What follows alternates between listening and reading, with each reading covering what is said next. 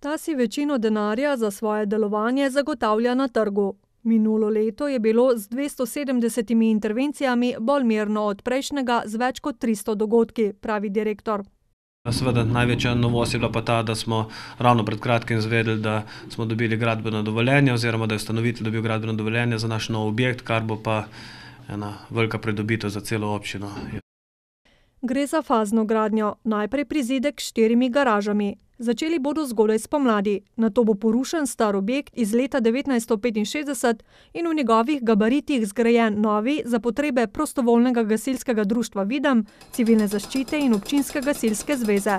Osrednji del stavbe iz leta devetnajststo osemdeset pa ostane, saj je tudi energetsko saniran.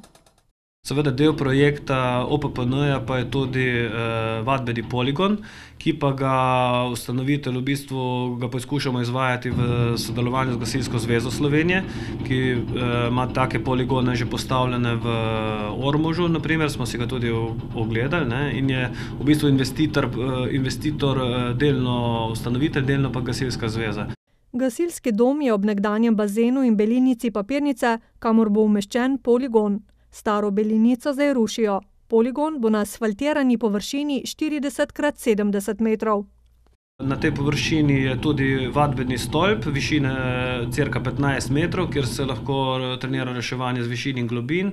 Na tem poligonu so tudi predvidene površine za tehnično reševanje, se pravi, da so že instalirane razne uponke, na poligonu so instalirani hidranti, globinski jaški in tako naprej.